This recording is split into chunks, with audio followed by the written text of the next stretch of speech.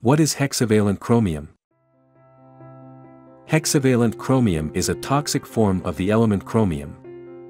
Chromium is a naturally occurring element found in animals, rocks, plants, soil, and volcanic dust and gases. Chromium is present in the environment in several different forms. The most common forms of chromium are chromium-0, chromium-3, and chromium-6. Chromium-6 is also known as hexavalent chromium. Hexavalent chromium compounds are man-made. Hexavalent chromium is often produced by industrial processes and widely used in many different industries.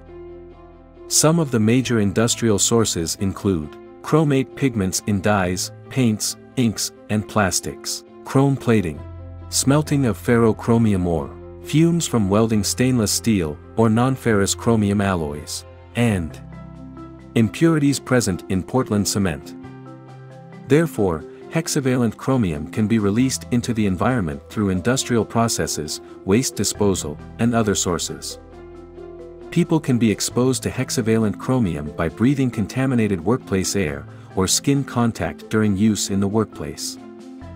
People may be exposed to hexavalent chromium if they live near uncontrolled hazardous waste sites containing chromium or industries using chromium.